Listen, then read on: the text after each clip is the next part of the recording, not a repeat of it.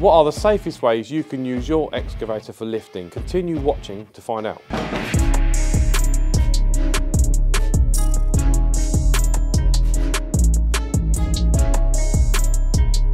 So what are the safe methods of lifting using an excavator? Number one is a quick hitch with a LOLER tested lifting eye. So an excavator fitted with a quick hitch that has a LOLER certified lifting eye is a secure way of lifting. So by securing a D shackle to the lifting eye on your quick hitch, you can use chains and straps to securely lift your load and move it in a safe manner. It's common for hitches to have a lifting eye that aren't LOLER tested. So it's something that you need to be aware of if you already have a quick hitch on your machine and you want to use it for lifting, then you need to ensure that it is LOLER tested. And just remember that a LOLER test normally only lasts for six months. So you might have had a test on it, but you need to check that it's current. The Rhinox Auto Lock quick hitch is LOLER tested for six months when it leaves us at point of dispatch. All Rhinox quick hitches are Lola tested and the working load limit is on the data label on the side of the hitch. And this is applicable for six months from the date of dispatch. So if you're looking to buy a quick hitch and you're going to need to use it for lifting, it's definitely worth making sure that it is LOLER tested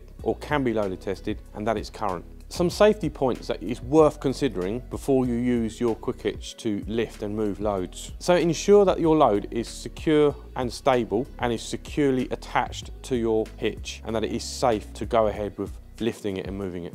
It's really important that you don't exceed the working lifting load on your hitch and machine so it's well worth acquainting yourself with what the capacities are of the machine and the hitch. If you fail to do this, it could result in accidents and nobody wants that. One key point to bear in mind is that you need to have the hitch facing towards the ground so that you don't put any undue stress on the hitch or any of the links. And one final point, it's really important to make sure that you do routine checks on your machine, pins and bushes, and especially the quick hitch, and please ensure that your LOLER certificate is up to date. So the second method that you can use for lifting would be excavator pallet forks. Using pallet forks enables you to lift products and pallets and move them in the same manner as you would like a telehandler or a site forklift. Excavator pallet forks are especially useful when you've got very tight sites. Obviously you've got the turning circle of the machine, so they are a very versatile piece of equipment that you can add to your excavator. The same as when you use a quick hitch for lifting, pallet forks also have a working load limit,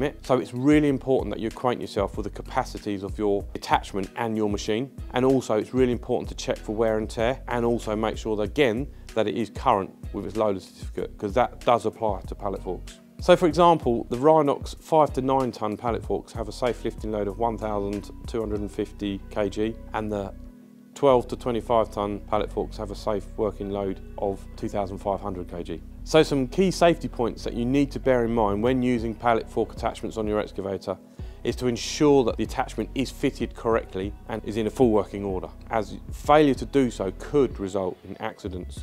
And again, nobody wants to see accidents on site. Another really key point is that you don't exceed your working lifting loads. And again, I just can't emphasize it enough. You really need to make sure that you are fully aware of what your lifting capacities are for the machine and the attachment. And as always, make sure that you carry out routine checks of your attachments and your machine, obviously. And anything that doesn't look right needs to be checked and maybe flag to the guy that does your repairs, but also make sure that you've got an up-to-date LOLER certificate for that lifting equipment. I suppose one of the most obvious things is make sure that your load is secure and stable and that it's even. And if you're not sure, just get out and check or get somebody to check for you because it's really important that your working load that you're lifting is safe. Whilst it's good to be able to use your excavator for lifting on site, it should remain your top priority that whatever you do is safe. I guess like anything, but particularly when using an excavator for lifting, safety is non-negotiable for yourself and everybody around you. So you want to know more about the Rhinox pallet forks and our LOLER tested quick hitch, watch here for more videos. And don't forget to subscribe so you don't miss out on all the great products that Rhinox have to show you. Has a LOLER cer certified. You can use your excavator,